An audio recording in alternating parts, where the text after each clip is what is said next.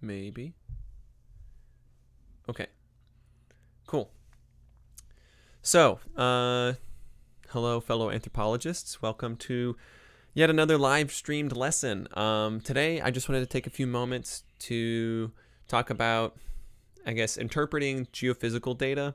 So, in the field, we've been doing a lot of uh, metal detection, uh, sticking a metal rod in the ground, uh, essentially sticking a soil probe in the ground, um, and doing electrical resistivity, which is basically taking uh, electrodes, placing them in the ground, and then measuring the resistance of pumping a current through those electrodes and seeing how fast that current takes to get to the other electrode.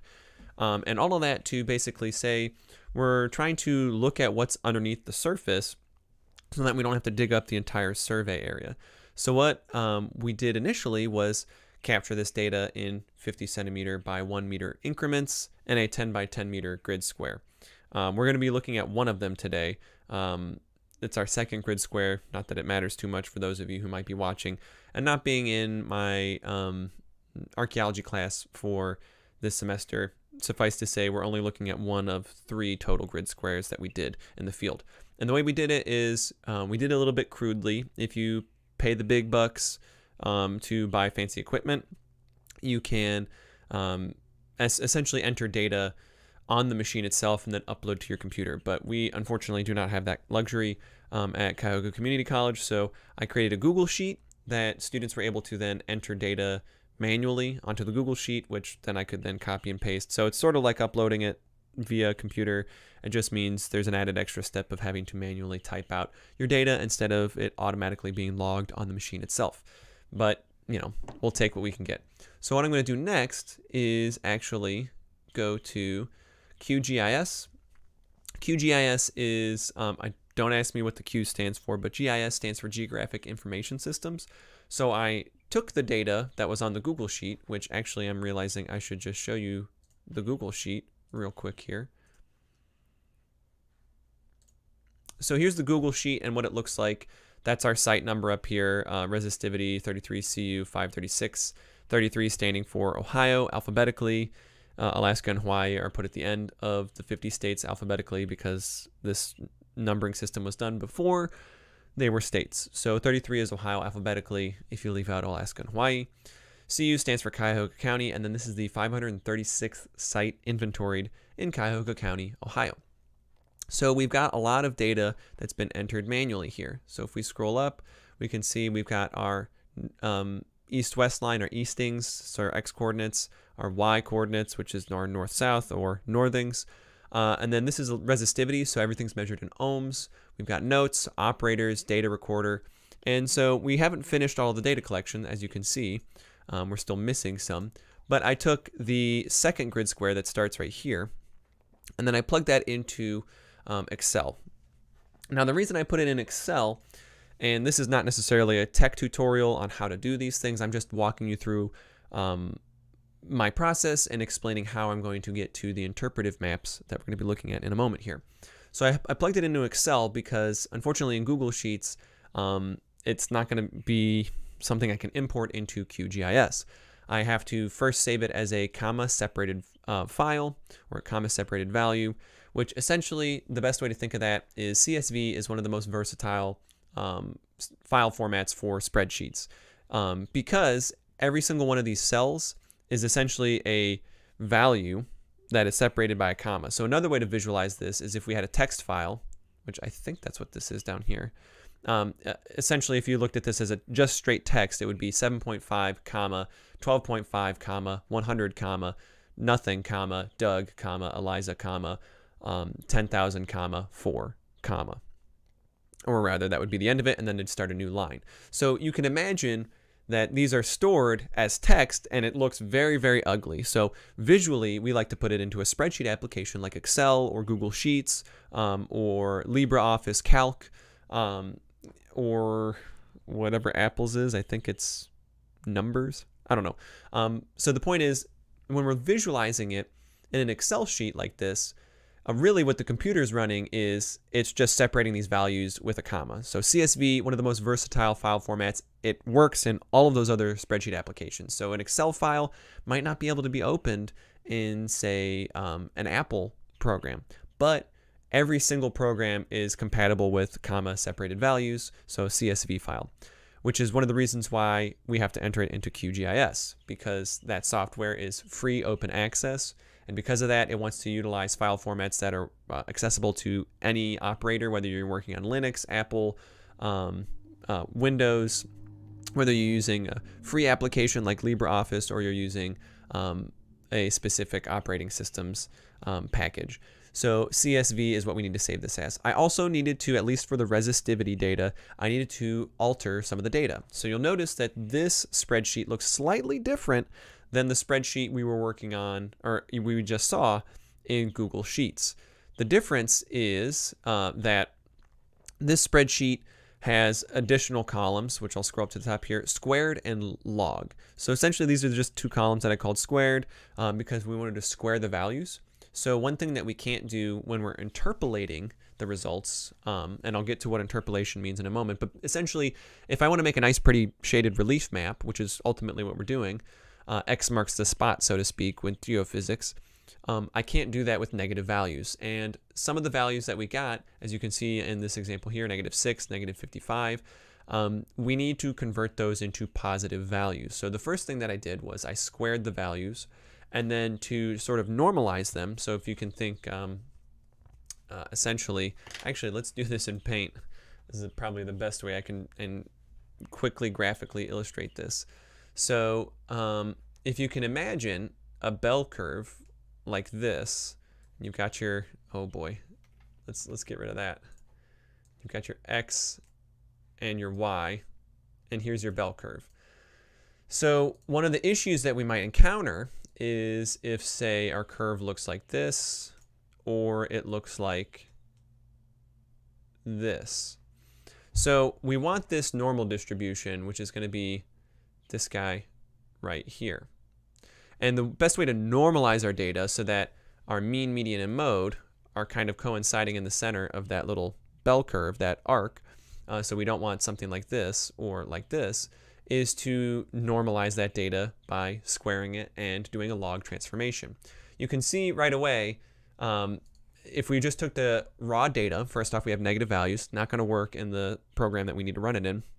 But setting that aside, we've got um, blank values, which have to be pulled out because 999s will be treated as real values. Oh, sorry, jump to the end there.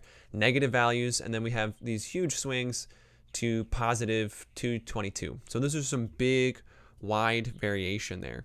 So we want to kind of compress that so that we don't have these big swings that can really pull our data and stretch it in ways that artificially create variation where we don't necessarily need to worry about variation um, as much. So we square them to get rid of the negative values, but then we still have these gi giant gargantuan numbers. We've got 25 and then 29,000. So these are huge, huge swings in very different directions here. So by taking the logarithmic transformation, essentially all we're doing is we're entering, you can see the equation right here in Excel, equals log and then of the squared value. And so what that does is it basically brings it down into a, a scale of now we've got variation on numbers between 0 and essentially 5. So instead of having 25 as one value and 30,000 as the next, we now have 0, 5. So a lot less lot less wild pendulum swings there. And by doing that, we're essentially creating uh, another version of this bell curve. We're trying to collapse that data so then um, we're visualizing it slightly differently. No, I don't want to save that. So that's what I had to do for this spreadsheet. I didn't have to do that with the other two, with the soil probes or with the magnet or metal detection, because of the way the readings are essentially used. And it's not common practice to alter metal detection readings, but we'll get into that in a moment. So here is what it looks like to modify all that data. So I take this, save it as a CSV, and then I import it into um, QGIS. So right now we don't have a whole lot going on in QGIS. Um, if I wanted to, I could zoom out to, um, you know, uh, let's here, let's go to this ortho. So here's Northeast Ohio. Here's, you know, an aerial map. We've got water imported. We've got all these different layers. So GIS means Geographic Information System. You've probably used something similar to this um, if you use Google, Google, Maps and you toggle between layers. Um, all of the spatial data that's you that goes into Google Maps that's behind the scenes that you don't realize, like calculating the most efficient route, whether that's for walking, driving, public transportation, um, bike. Um, those all have different spatial statistics that go into them based on different layers, different input values, but we don't need to get into that. Point is, we've got a fun GIS here. But you'll notice that the data I'm using is nowhere located in our project area. So our project area was in that last one that we just saw, and now we're just in the middle of nowhere. There's nothing behind it. And in fact, if I zoom out, if I keep zooming out, oh, we can see here's where everything else is in Northeast Ohio. Here's where my project data is. The reason it looks like this is because I never actually gave it um, coordinates in the coordinate plane that we're working in. I just used the raw data. And if we go back to the raw data, we've got 0.5 and 10.5. So it thinks that I'm uh, 50 centimeters north of the equator, or rather 50 centimeters east of the uh, zone um, zone line of zone 17 of this UTM transect, um, and I'm 10.5 meters north of the equator, which is why we end up in the middle of nowhere, very far from all the layers that I've already imported into this project. Um, but for interpolation and ge- uh, you know for geophysical interpretation, I don't really care too much about georeferencing it into our project area, mostly because the aerial photographs that I'm going to be looking at um, are going to be through wooded trees. So there's not going to be a whole lot that I'm going to benefit from seeing it layered onto our actual project area at the moment. So for now, I'm not too concerned about that. Uh, all, I, all I care about is having access to the plugins and the tools that QGIS has available to me. So obviously these are not in the proper coordinates of where they are in the globe, but they are relative to one another and that's what's important. So you can see here's all of the different readings that we've done. It just looks like a bunch of nice fine dots, right? Because, you know, 50 centimeters, another 50 centimeters, and this is a meter apart from each other. So we've got a nice 10 by 10 grid with uh, roughly 210 readings. So we've sampled in this area 210 samples to represent this area.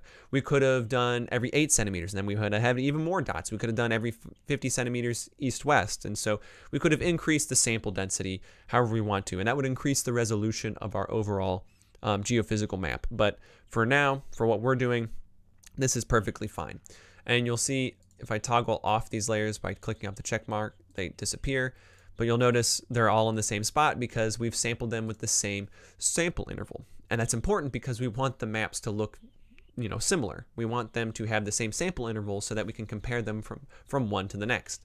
So for resistivity, what I ended up doing is I went up to my plugins here. Um, oh, I have to manage and install plugins. Well, there's a, it's because I'm on a different sign in on this computer. But anyway, there's a there's an app called AGT I think it's Archaeological Geophysical Toolbox or something to that effect. And then we enter in the data that we want to manipulate. And our output ends up looking something like this. So you'll notice it's a shaded relief map. If we look down here at this layer, um, on the left here, we can see that the black is 2.15, et cetera, et cetera, and white is 4.40982. So really what we're doing is we're using a tool that was originally developed for understanding drainage and elevation, and we're applying that to anything else. So the way this works is it's spatial, spatial statistics to figure out um, when we're looking at those dots, you know, where, what's the directionality here? Originally it was used to figure out slope. So if you have two points on a map that you've, you've um, captured their elevations, what the computer will do is then estimate the slope between those two points. That's what we call interpolating. So when you have two known points and you want to figure out what's going on in between two known points, that's interpolation. If I want to know what's beyond those two points, that's extrapolation. You probably heard extrapolation a lot, but probably not heard a lot of interpolation. So that's what we've just done here, is we've interpolated all of the samples that we've taken of electrical resistivity within our area. And this is based off of the logarithmic transformations. You can imagine it would look like a polka dot mess if we had just done the raw data, actually we, we would have gotten an error because we had negative values. So if we just did the squared values, we would have definitely gotten a polka dotted mess. So we can see there's a few things going on here. We've got some highlighted areas uh, and then some dark areas. Unsurprisingly, we've got a tree here, so we've got some, some fluctuation, another tree here, and then another tree down here, and I believe another one down here. But what's important to note is we want to compare these results to our other two geophysical survey maps. So we've got a dark spot here and a dark spot here. What does that actually tell us? Well, if we go back to our data, I can count over. So this would be one, two, three, four, five, six, seven and a half. And then this would be um, uh, one, two, three, four, five and a half, because um, we started at 10.5 on these ones. But if we go back to it, um, let's see here, 7.5.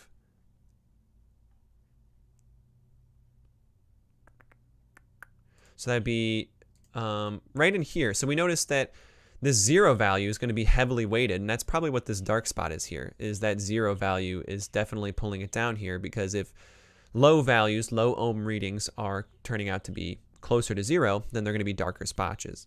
spots.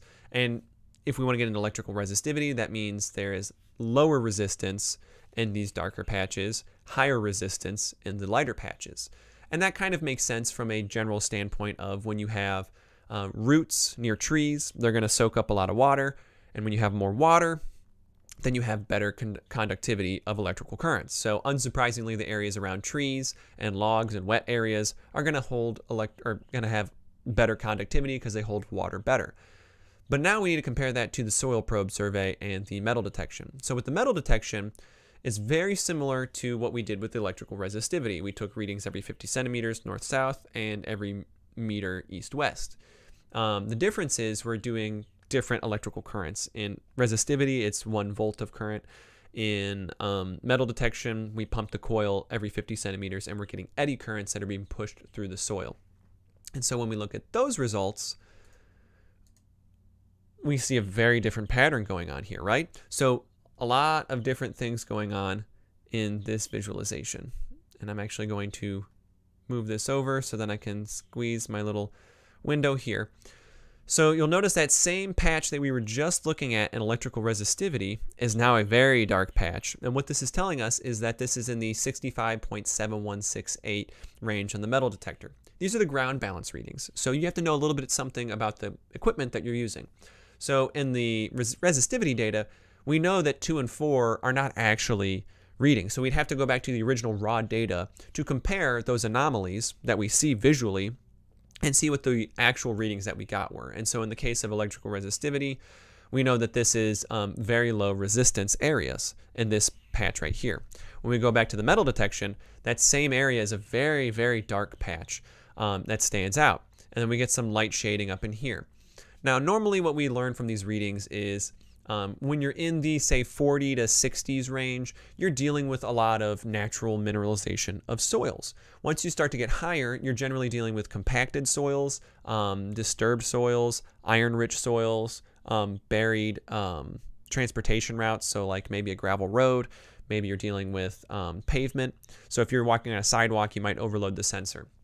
So really what we're seeing here is more likely than not the depth of the subsoil. So with the metal detector, and we could get into the, the mechanics behind it, really what we're measuring is the depth of the B horizon because the B horizon is going to be rich in um, iron bearing minerals. Um, so, you know, the deeper your B horizon, the lower your readings are because the coil can't actually hit that iron. So it's getting a weaker signal, which means the overall ground balance readings decrease. The higher the ground balance reading, generally speaking, that also means that the B horizon is closer. So in addition to all those other factors I was talking about of compaction, um, you know, obviously if there's metals in the ground, we those are going to alter the ground balance readings. Um, so really what we're seeing here is that there's a closer to the surface B horizon in these areas and a much deeper B horizon here. So if we combine the electrical resistivity and the ground balance readings, we can start to say, okay, so there's probably water accumulating here. It's probably a deeper B horizon that may be indicative of a feature of some sort. That could be a pit feature. So someone dug a refuse pit. Maybe someone dug a fire pit. Maybe someone put a post hole here. Uh, that's an awfully big post hole, if I'm being honest. Um, so it's more likely um, a thermal feature of some sort. We know that there's fire cracked rock in the area around here, not this specific spot, but in areas just to the northwest of it. So we've got some inkling that this might be a feature, right, based on these two data. Now let's combine that with the soil probe data.